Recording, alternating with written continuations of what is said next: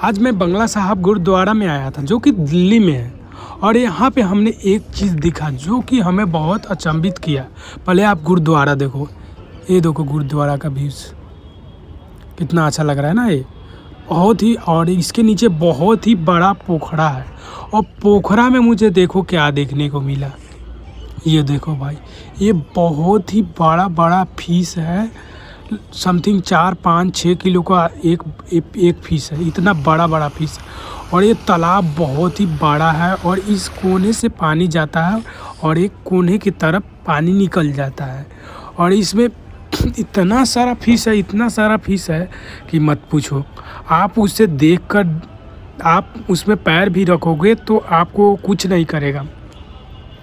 वो लोग, और ऐसा फ़िश आपको फ़िश एक्वेरियम में भी नहीं देखने को मिलेगा लाल, पीला, काला, बहुत ही बड़ा बड़ा और इसमें बड़ा से लेकर छोटा छोटा फ़िश है। हर फ़िश वो है, जो आप नहीं देखे होइएगा एक्वेरियम में वैसा वैसा फ़िश आप लोग को देखने को यहाँ मिलेगा। ये देखिए, हम अपने यहाँ पे पैर लगा रहे हैं, फिर भी उस सबको कोई फ़र्क नहीं पड़ रहा है, वो लोग नहीं भाग रहे हैं। यहाँ देखो, इसमें कछुआ भी देखने को मिलेगा। यहाँ पे देख सकते हो वो आगे आपको कछुआ दिख रहा होगा। ये दूसरे टाइप का कछुआ है। मतलब ला, लगता है दूसरे देश से लाया गया है और इसमें रख दिया गया है। और वो लोग ठंडी में धूप सेक रहा है।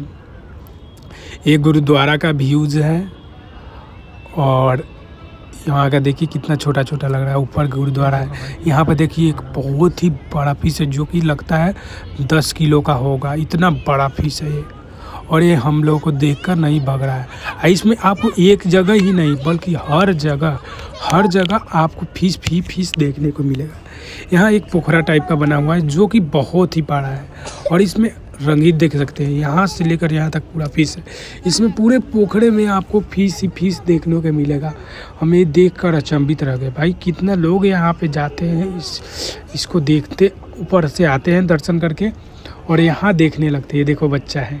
बहुत कीट है, बहुत खेल रहा था इसके साथ। और इसे कुछ दो तो फिर भी नहीं खाता। है हमको लगता है इसे दूसरा दाना वगैरह दिया जाता है। देखो, इसे, इसके देह शरीर पे आप पानी भी छीटोगे ना तो ये नहीं भागेगा। ये देखो फ़ीस टाइप का एक फ़ीस है। बहुत ही अच्छा लग रहा था भाई यहाँ पे आके।